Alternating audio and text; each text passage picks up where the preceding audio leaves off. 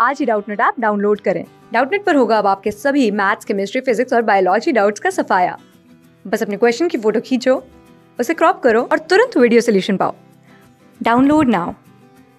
Question says आपको structure formula जो है वो इथाइल इथेनॉइड का बताना है कि क्या होगा राइट right? सो so, आपको स्ट्रक्चर फार्मूला बताना है अमंग दिस क्या होगा इथाइल इथेनॉइड का?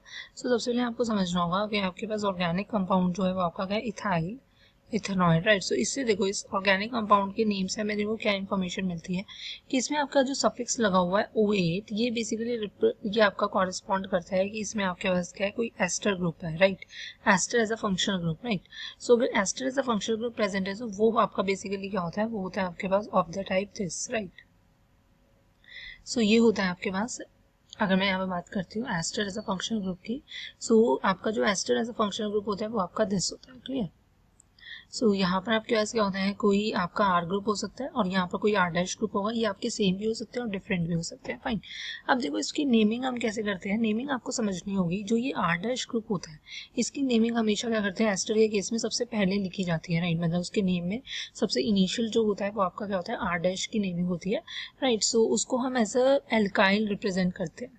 क्लियर और जितने कार्बन आइटम्स की चेन होती है उसके अकॉर्डिंग इसका नेम हो जाता है। सो so, यहाँ पर अगर आपके पास है इथाइल सो इट मीन्स ये आर डैश जो है वो दो कार्बन आइटम्स की चेन होगी राइट सो so, हमें आर डैश पता लग गया क्योंकि वो इथाइल है।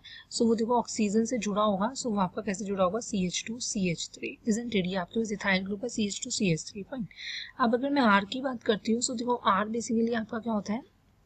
आर बेसिकली क्या होता है देखो आर बेसिकली आपका क्या होता है कि इस कार्बन के एटम को इंक्लूड करते हुए आपकी क्या होती है चेन होती है फाइन सो so, अब आप देखोगे यहाँ पर आपके पास क्या इथेनॉइड राइट सो जो हमारे पास सेकंड नेम है आपके पास इथेनॉइड सो इथ है इथ का मतलब दो कार्बन आइटम सो एक कार्बन आइटम तो आपका एस्टर ग्रुप वाला ही होगा फाइन क्लियर और दूसरा कार्बन आइटम जो होगा वो आपका आर ग्रुप होगा. सो इट मीन्स ये आपका क्या होने वाला है? C H three fine so इस तरीके से आपकी नेमिंग होती है। अब देखो प्रॉपर अगर मैं इसका स्ट्रक्चर बनाती हूँ सो ये आपका क्या हो जाएगा?